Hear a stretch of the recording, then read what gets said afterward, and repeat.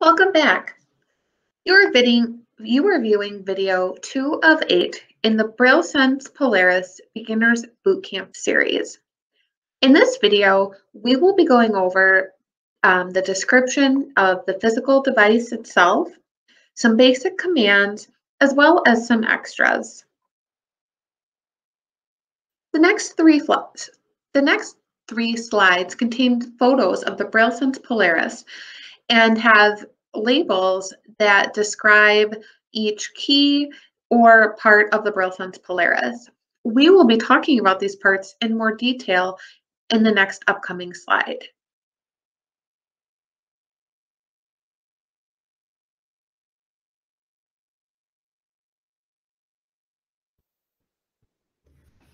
Let's take a look at the Polaris and get to know the keys, buttons, three position slide switches, and more. To get the videos, please have a Polaris in front of you and feel free to pause and practice as needed.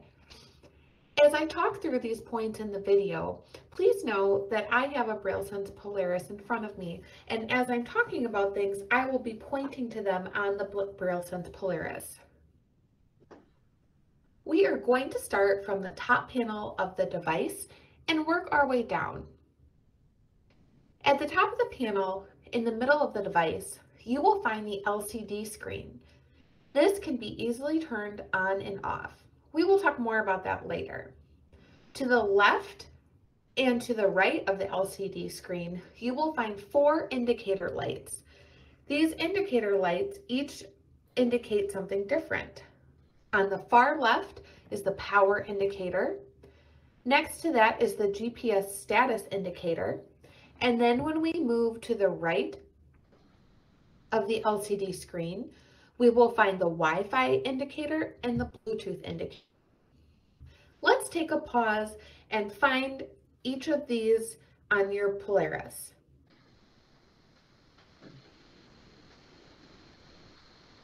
Moving on. Now we're going to move down to the center of the device. Here, you are going to find the Perkins keys just as you would on a Perkins Braille Writer. In addition to the same keys that you would find on a Perkins Braille Writer, you're going to find a few extras. To the left of the space bar, you are going to find the control key. On the right, you're going to find the alt key. These keys are important. They are going to allow you to write in documents, manipulate your device, use shortcuts, and work quickly within your Polaris. In addition to those keys, you are also going to find function keys numbered 1 through 4. These keys are on the outsides of your control and alt keys. So starting on the left of the Polaris, we have function number 1, number 2, and then moving to the right of your alt key, you're going to find function key number 3 and 4. Let's take another pause and find these buttons on your own.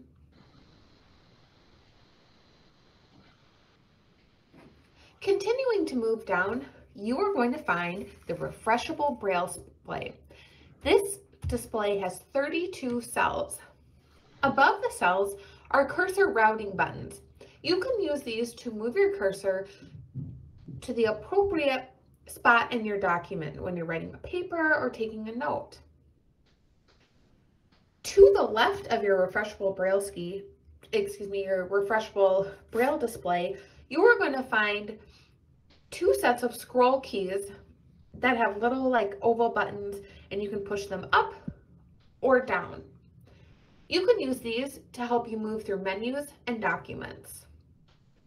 Please take a moment to explore these keys. Next, we're going to move on to the front panel. Now, starting from the far left, you're going to find the following switches and buttons. First, we have our first three position slide switch. This goes between three different positions. On the far left, we're gonna have lock. In the middle, audio, and then unlock. Moving down, you're going to find a second slide switch. And this one moves between apps DAISY, and MP3s. And those are your different media modes that you can use on the BrailleSense Polaris. Moving on, you're going to find a set of five buttons. They are all going to feel the same except the button in the middle, and that's going to have a raised dot on the center of it. These buttons are for controlling media and DAISY playback, and they also are going to provide some keyboard shortcuts for you. This is only when it's in the application mode though, so keep that in mind. It, but we'll talk about that more later. These keys in order from left to right are back, record, stop, and remember stop is a key that has a raised dot. To the right of stop, we have a play pause button, and then finally a forward button. The very last button on our front panel is the power on and off button. When you press it on, your Polaris will turn on or off. Sometimes you just need to give it a minute. Right now mine is is thinking and the braille display when it turns on will say HIMS and then you'll hear like a little song. Let's pause for a moment and practice finding the keys on the front panel.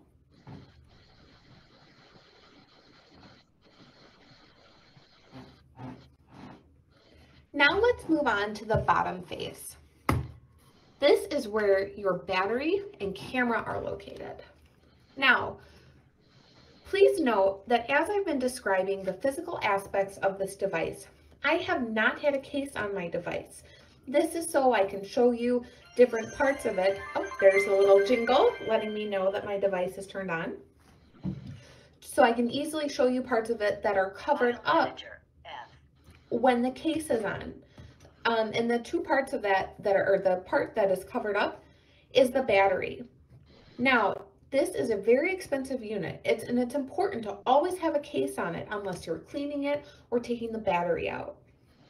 Now, when you go to take the battery out, it's really flat and you may just find the um, there's like a rectangle outline that's a little bit hard to feel. But to take it out, you're going to find a small rectangle that has a um, little groove in it. To take the battery out, you're going to pull that back and then there's going to be a small indent just beneath it that will allow you to take the battery out.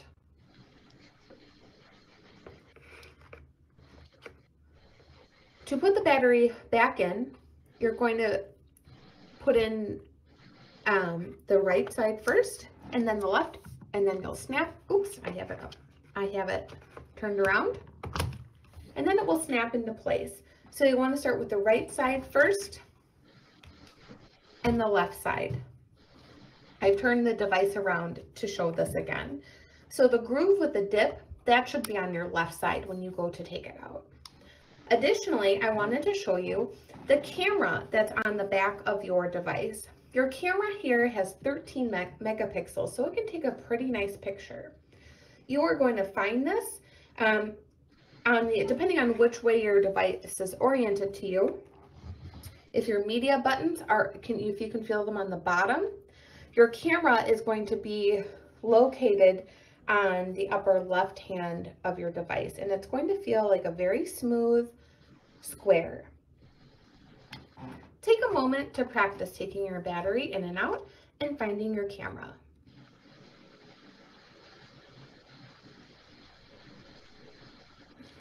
Next, we're going to talk about the rear panel. The port to the right of the near panel, oh, excuse me, got to turn around here. So the port to the right near the real rear panel is your AC adapter jack. This is going to be where you will plug your charging cord in to char charge your device to make sure it has power. You're going to plug in the small round end of your AC adapter into this jack and then you're going to take the larger box-like end and plug that into a standard electrical outlet. Towards the left, we're going to move on down and you're going to find the HDMI port. We're going to use this port to connect HDMI video screens or monitors to the BrailleSense Polaris for visual presentation or if your teacher wants to view your work as a student. Let's pause and find our AC adapter jack and our HDMI port.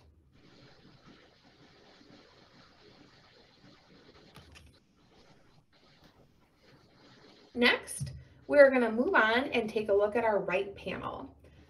Towards the front of the right panel is going to be your USB 3.0 rapid data and micro USB combination port. This can be used for transferring data, charging the unit, and connecting to a computer as a USB braille display. As we continue to the back of the unit, you're going to find an SD slot, and this is for using, um, this is for, for inserting an SD card.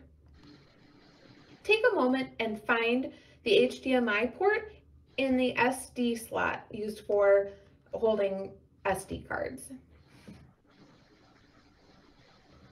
Next, we're going to move on to the left panel. Now, near the front of the unit, you're going to find two small oval buttons. These are for raising and lowering the master volume of the unit. Use the button closest to you to the or closest to the front to decrease the volume and the button behind it to increase it. Behind those two buttons are two small round jacks. The one nearest to the front is the stereo headphone jack. So that is something that you could plug in your headphones to.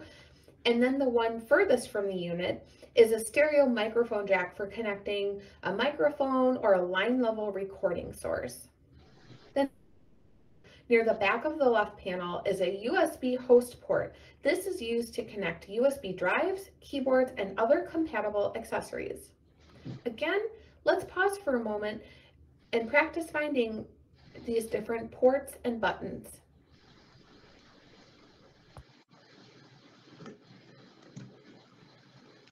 Next, we're going to cover some basic commands, including voice settings, and we're also going to talk about how to turn your LCD screen on and off.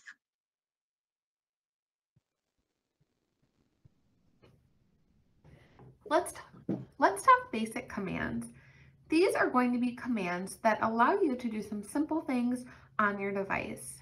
These commands are also displayed on the video as well as in the user's manual and tips and tip tips and tricks document. We're going to go through a few of these just one by one. And just like before, there will be time to practice. So the first thing we're going to talk about is voice settings.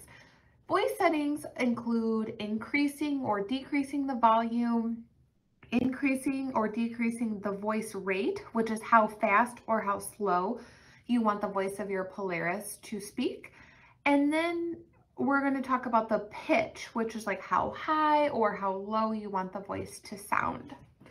So there's actually two different ways that you can increase and decrease the volume. The first way you might remember from when we were doing the actual device orientation. On the left side of the BrailleSense Polaris, on the bottom left, you're going to find these two like oval shaped buttons. The button on the bottom is going to lower the volume I'm going to press it right now. Main volume 20. Main volume 19. And then the button on top is going to increase the volume. Main volume 20. Main volume 21. Main volume 20. Main volume 21.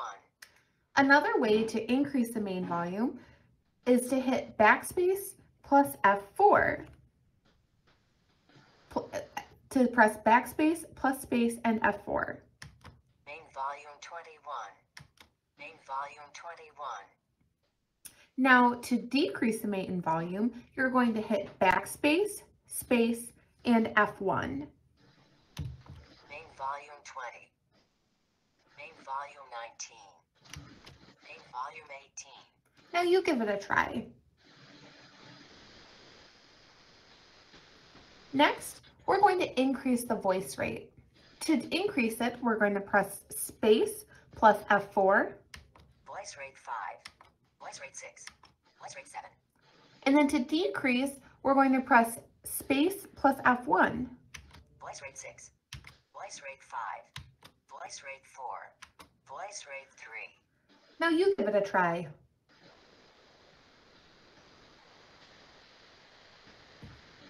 Next, we're going to talk about increasing the pitch, and that's going to be enter plus F4. Voice volume 5. Oh, excuse me, I hit the wrong button. Enter plus F4. Voice pitch 4. Voice pitch 5. Voice pitch 6. And then to decrease the voice pitch, we're going to hit enter and F1. Voice pitch 5. Voice pitch 4. Now, as you guys just saw, I made a, I just had a little mix up with the buttons there. And I just want you to know that it's okay to make mistakes. And especially when you're learning a or device or even when you use it a lot, sometimes you mix things up and it's not a big deal. It's usually pretty easy to figure out um, the error that you've made. So now take a few moments and I want you to practice again, increasing, increasing and decreasing the voice pitch. And then I want you to go back and try increasing and de decreasing the volume as well as the voice rate. You can pause until you feel like you're ready to move on.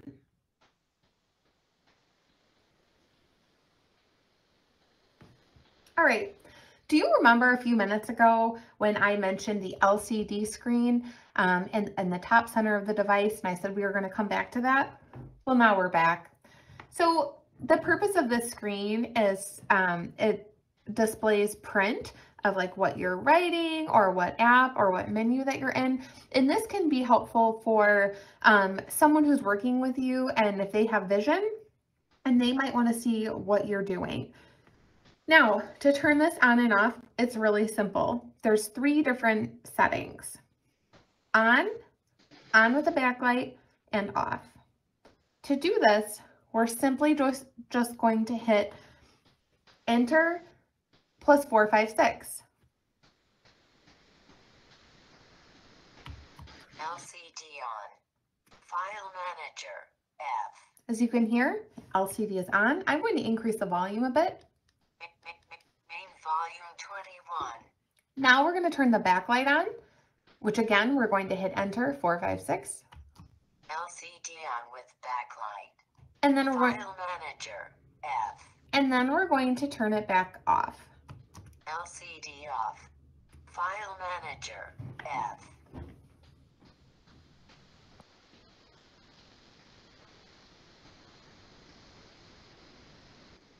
Next, we're going to continue on with some more basic commands. All right, this next set of commands are going to assist you as you multi multitask on your Polaris, as well as go to open menu items and applications. We will continue to pause um, after each little set of commands so you have a chance to practice. The first thing I want to talk about is returning to the file manager slash main menu. To do that, you're going to hit F1. File manager. F. Now, if you're already in the file manager and you hit F1, you will not hear it repeat the name of the menu. But if you check your refreshable braille display, it will say what menu you're in. And if you have your LCD screen on, it will also um, say that there as well. Um, I find sometimes if, especially when um, a student is just learning um, a note taker, like I consider the file manager like home base. And so if you're feeling stuck or if you're not sure where you are in the device, go ahead, do an F1, go back to your file manager and start fresh from there. Now, when you're in your file manager and your main menu, um, you're going to have an opportunity to find like a list of applications. And these different applications are going to help you to do different things on your Polaris. So to listen to what applications and items you have, you can do that in a couple different ways. First, you can use your scroll keys. Notepad. N. Word processor. W. Notepad. N. And so I'm just using the up and down buttons on my scroll keys to go through this list. Another way you can do it is you can move up and down by doing space dot four or space dot one. Dot four is going to move you down. Email. B. Exchange email. App media. M. And space dot one is going to move you up. Exchange email. L. Email. Now, it's worth noting that if you want to open one of these menu items, just go ahead and hit your enter key. Account name. No items list item. File manager. F. So it's pretty simple. So if you want to, as you're scrolling through, if you want to open up a couple of the different applications and and um, and check them out, go ahead and do that. Just hit go ahead and hit the enter key to open them. Finally, if you want to move to the end of the list or to the top of the list, there's a command for that. A space 456 will take you to the bottom. Information about the Braille Sense Polaris. And a I. s- space 123 will take you to the top. File manager. F. So take this time and explore those commands for moving through your list of applications. And be sure to open a couple of the programs or applications as you're doing this. Next, we're going to talk about how to open your running tasks list. So your tasks list is going to be the list of like tasks or applications that you have open.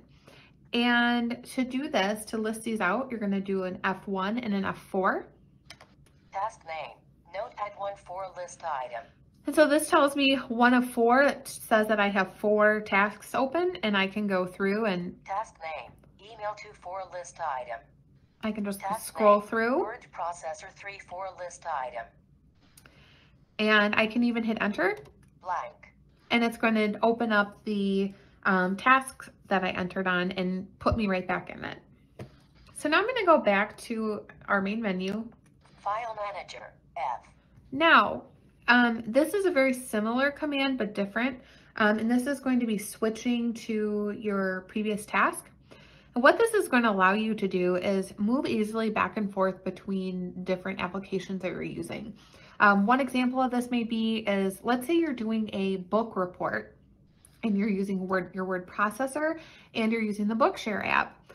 So by hitting um, F2 and F3, it allows you to switch between your open apps and work quickly between them. So I'm going to hit F2 and F3. Task name. Notepad. Task name. Email. Account name. Task name. Word processor. And as, as you can see, it quickly moves me back and forth between different tasks that I have open. And then again, if you want to go into a task, and well, and actually it already puts you into the task. So right now I'm in my word processor and I can already start writing. I'm going to say uh, that That. Is that is good. good period. So I'm already in my word processor and I can go in and write in it right away. All right. So while we're in our word processor, um, and I'm touching on this because when we really get into word processing, we'll touch on these menus more. But um, when you're in different programs or applications, they're going to have a menu. And to open that menu and to get into the different features of those programs, you're, we're going to want to do a space M for menu or an F2.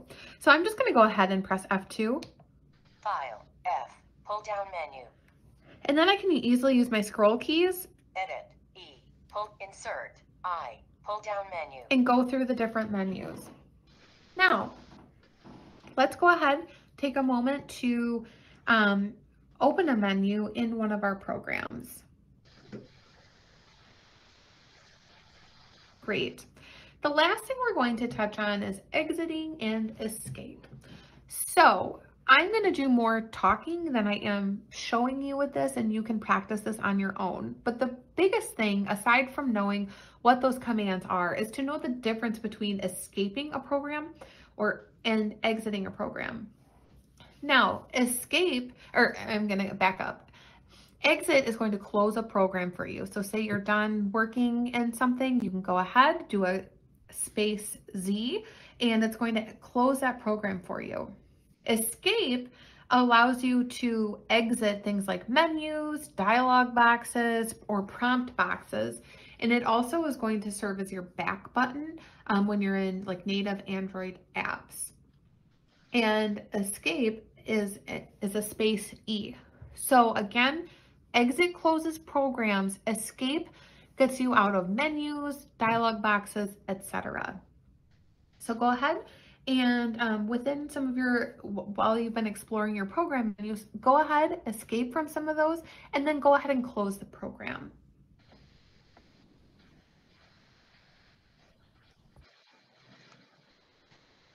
Right, finally, we are going to go through some extras such as saying the current time, displaying your power status, displaying your network status, turning your voice on and off, as well as turning the braille on and off. Let's talk some extras.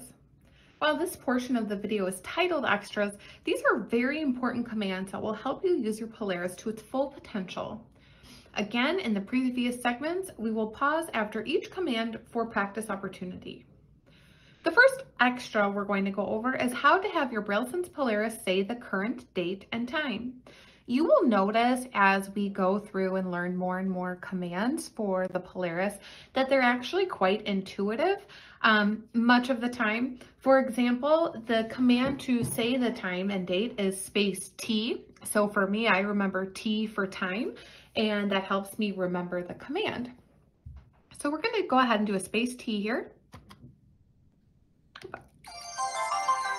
Sorry about that. I had to wake my Polaris File up. Manager, F. All right, now let's go ahead and do a space T for time. 12, 28, 23 p.m. static box. So as you can see here, it's announced the time. And to have it announce the date, we're going to use the tab button, which is F3, to hear the date. Monday, January 11th, 2021 static box. Let's pause a moment and give that a try. Great. Now we're going to move on to how you display your power status. File Manager, F. I just hit F1 to go back to my main menu. The power status is important because you need to know how much battery life your Polaris has. This is going to help you with time management. Say you have a big paper to write and you're at 13%. You might want to plug it in to ensure that you're able to use the device for a long period of time. To check the power status, we're going to do a space 1 6. 96 charged, using battery static box. Let's go ahead and give that a try. Great. File Manager, F. The next command we're going to talk about is how to display your network status. Now this is important because your network status is going to be the wireless network that you are attached to. You will notice when we practice this command that it will display not only if you are online, but we can learn information like what wireless connect, what wireless you're connected to and more. To display our network status, we're going to do a space N from our main menu. And to make sure that you're in your main menu, you're going to hit an F1 and it should say File Manager, and then you know that you're back to your main menu. So let's do a space N. Checking. Status. Online. Wireless. Static box. Now using my scroll key, I'm going to move down and listen to what other information it has to tell me about my network status. SSID. Floundy static box. This is the wireless network that I'm a part of. Sensitivity. Very good static box. This is telling me what kind of signal I have. IP 192.168. 1. Network prefix length 24. 255. 255. Gateway 192. Primary DNS 192. 168. 1. One static file manager. F. It didn't escape to get out of there, but as you can see, as I hit my scroll keys, gave me more and more detailed information about my network. Which again, very important when you're using a device that depends a lot on being connected to the wireless internet. Finally, these last two commands, oh, excuse me, let's pause and practice checking our network status. All right, now finally, these last two commands, as you can tell, I got a little excited about them. Um, there, it's going to show us how to turn our voice on and off, as well as our braille display on and off. I frequently over the years have noticed that Um, many tech problems or frustrations that have come up have been the voice gets turned off or the braille gets turned off. And then a student you're not able to access your your device. And that's super frustrating because you are not able to interact with it. So checking to make sure that the voice is on and the braille is on are super super important. So to turn the voice on and off we're going to do a backspace f2 Voice off. and then to turn it on we'll just press those again. Backspace f2 Voice on. File manager. F. And then finally, to turn the braille on and off, we're going to do another backspace again, but with F3. Braille off. File manager. F. Braille on. File manager. F. Great. Why don't you take a moment and practice those two commands?